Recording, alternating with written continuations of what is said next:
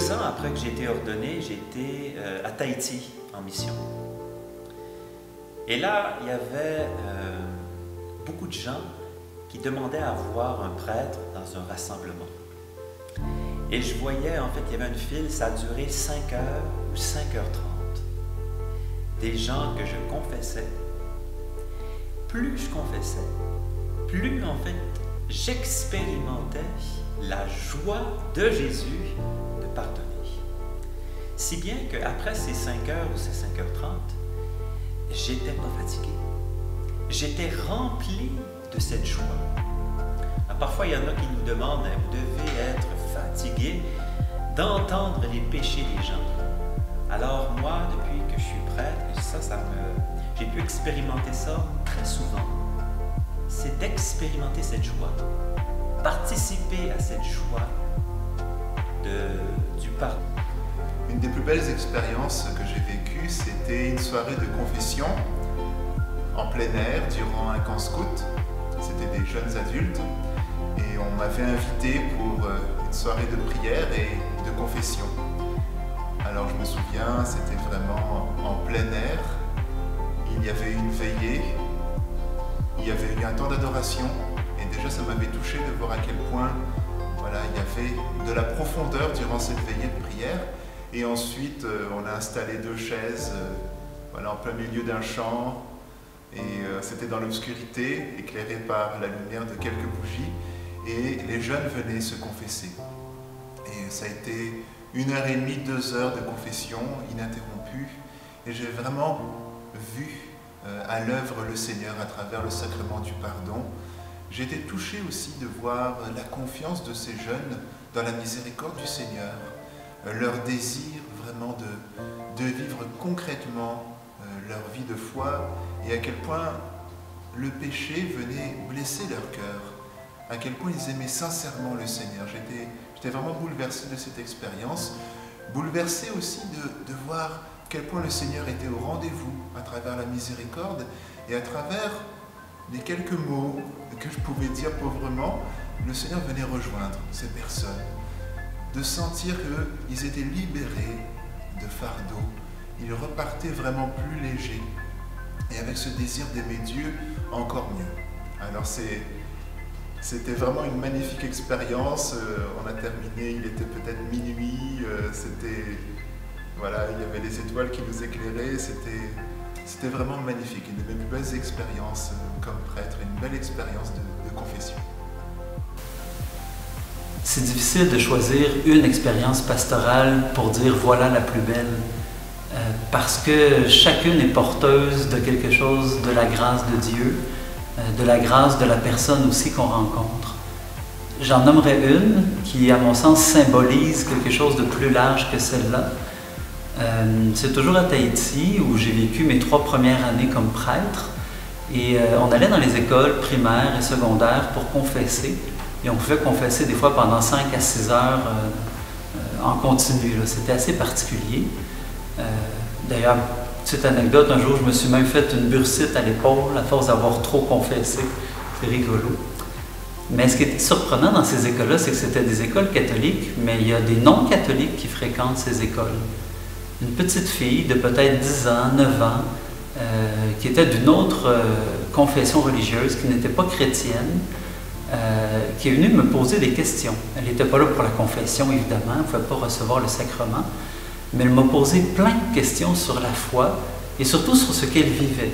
Et là, elle me dit, ah, ben moi, euh, lorsque je vais à l'église avec mes parents, on vit telle chose, mais moi, j'aimerais aussi pouvoir vivre telle autre chose. Ah, mais tu sais, dans l'église catholique, on appelle ça la communion des saints. Ah, mais moi, euh, a aussi telle chose que je vis avec mes parents, mais il manque quelque chose, je voudrais que ça aille jusque-là. Mais chez nous, on appelle ça la confession. Ben, chez nous, on appelle ça le sacrement du pardon. Chez nous, on appelle ça, on appelle ça. Et finalement, ce que je comprends, c'est que la petite fille rêve, dans le fond, est porteuse en elle-même de tout ce qui fait un catholique un catholique. 9 ans, 10 ans, d'avoir une vision aussi profonde de la foi, de l'engagement aussi, euh, c'était bouleversant. Alors, euh, elle m'a demandé si elle devait devenir catholique. Je lui ai suggéré d'attendre d'avoir au moins 18 ans pour ne pas faire de problème dans sa famille mais surtout de nourrir ce qui l'habitait, ce qui l'animait, et de rencontrer les religieuses qui étaient responsables de son école.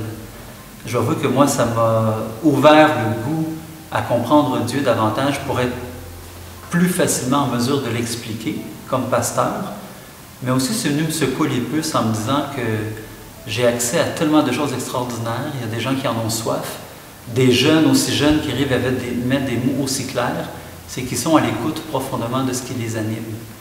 Alors ça m'a donné envie de faire pareil pour ma propre vie spirituelle. Une des belles expériences missionnaires que j'ai pu vivre, euh, je pense que je vais euh, mettre le focus cette fois-ci sur une, même s'il y en a plusieurs. Euh, lorsque j'étais à Tahiti, en Polynésie française, j'ai eu la chance aussi d'aller dans diverses des îles et des atolls où ils n'ont pas la, chance d'avoir un prêtre de façon régulière.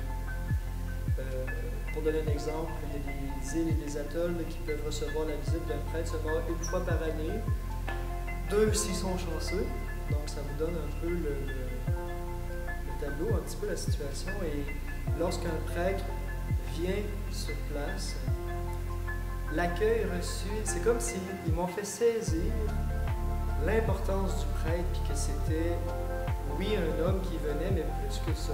C'était Jésus qui venait au milieu d'eux pour se donner, de manière particulière, à travers les sacrements. Et moi, ça m'a saisi parce que on, mettait comme une importance sur. Pas tant qu'on me mettait sur un piédestal, mais on reconnaissait en moi la présence de Dieu, la présence de Jésus. Et moi, ça m'a fait, ça m'a saisi dans cette expérience-là qui est-ce que tu te rends compte de ce que tu portes? C'est grand. Et pour les gens, c'était, c'était à la limite Dieu qui venait au milieu d'eux.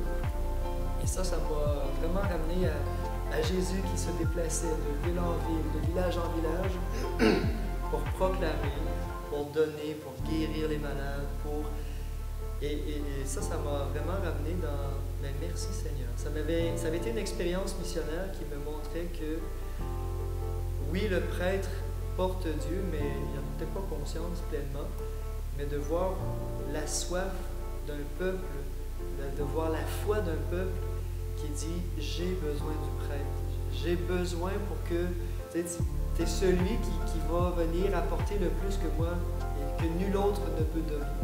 Donc ça, ça a été une expérience très, très marquante aussi pour moi, qui, qui m'avait saisi intérieurement. Ma plus belle expérience euh, en tant que prêtre s'enracine dans une première expérience antécédente. J'étais séminariste et euh, je participais à l'animation d'un mouvement qui s'appelle Les brebis de Jésus. Et c'est un mouvement dans lequel on essaie de d'aider les jeunes, les enfants, hein, les jeunes enfants, à découvrir la présence aimante de Dieu et entre autres l'adoration eucharistique. Et euh, après donc un temps d'adoration, voilà qu'une petite de 10 ans euh, s'approche de moi à la fin de la rencontre et me dit, tu sais Michel, Jésus m'a dit qu'il t'aime cette expérience-là a été marquante et j'ai réalisé que ça a comme fait, euh, on connaît maintenant à cause du film, ça a comme fait un effet papillon. C'est-à-dire qu'une toute petite phrase comme celle-là m'a permis de reconnaître dans l'action pastorale mes rencontres, le sacrement du pardon, les activités euh, euh, de toutes sortes euh, d'animations, m'a permis de reconnaître que par une parole, un geste, un encouragement, à travers ça, cause un rebondissement dans la vie d'un autre, dans la vie d'un jeune, d'un moins jeune, et qui fait jaillir une espérance nouvelle une joie nouvelle. Et ça, ce sont des expériences marquantes dans la vie d'un prêtre, de voir que ce que je fais, mon action, mais aussi mes paroles, mon agir, et à la limite mes pensées, ma prière, produisent un effet direct, efficace dans la vie de tant de gens. C'est merveilleux.